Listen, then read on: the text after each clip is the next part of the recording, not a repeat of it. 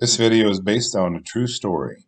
These stories are based on real-life incidents. Please respect the family and friends of individuals featured on this channel. Remember to be courteous in your comments. Many details of these true stories are gory and frightening. If you do not want to hear these types of details, please do not watch this video series. Don't forget to like and subscribe.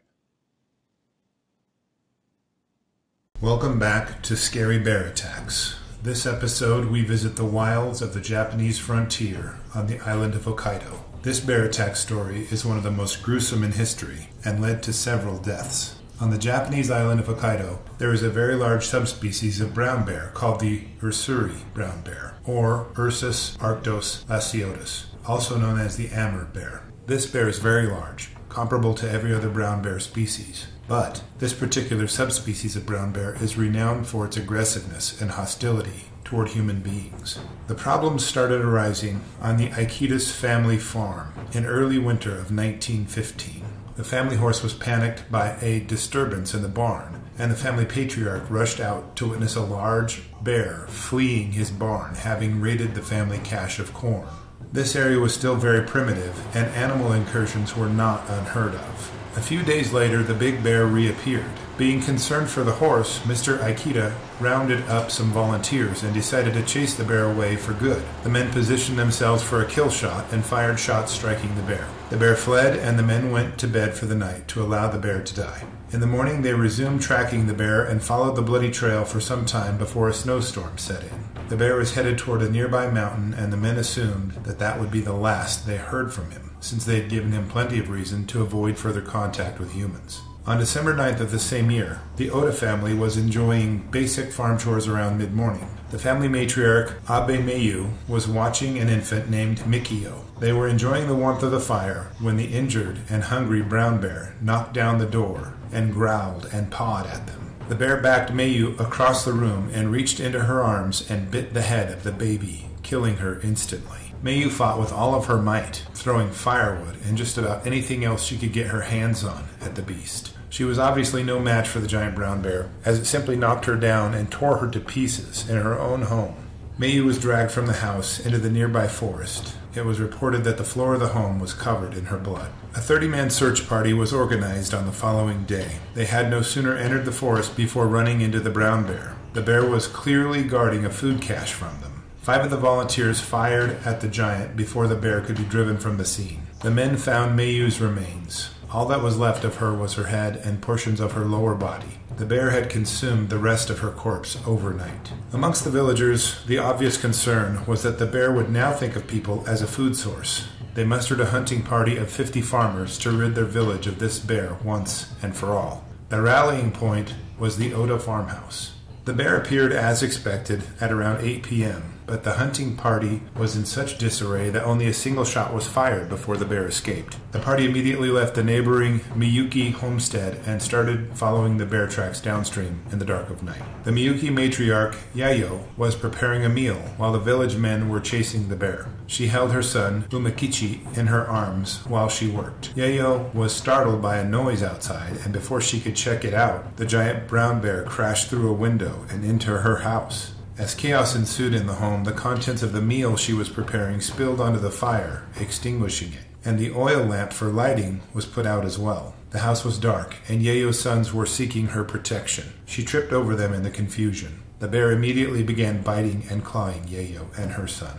Odo was the only man who was left at the Miyoki home to protect them. Odo burst into the room, and the bear immediately redirected its rage at him. This allowed Yayo and her sons to beat a hasty escape. Odo hid behind furniture, but the bear raked him with his claws. Others in the house were not so lucky. The Sato family was seeking shelter with Yayo and her children. The bear killed the fourth Sato boy and bit his older brother. During this frenzied attack, the bear also mauled and killed the third oldest son of the Miyuki clan, Kinzo. The Sato family matriarch, Take, was with child. She begged the bear to kill her but leave her baby unharmed. The bear killed and ate parts of her but left her baby. which was later pulled from her womb alive but died shortly after. Meanwhile, the hunting party thought they were following the bear tracks downstream and discovered they had not followed the right bear. They ran into Yayo, who was severely injured, as they returned, and she advised them of the attack. The men quickly surrounded the Miyuki house and could hear the bear attacking the occupants inside the dark home. They decided to burn the building with the bear inside, but Yayo talked them out of it, as there may be survivors inside.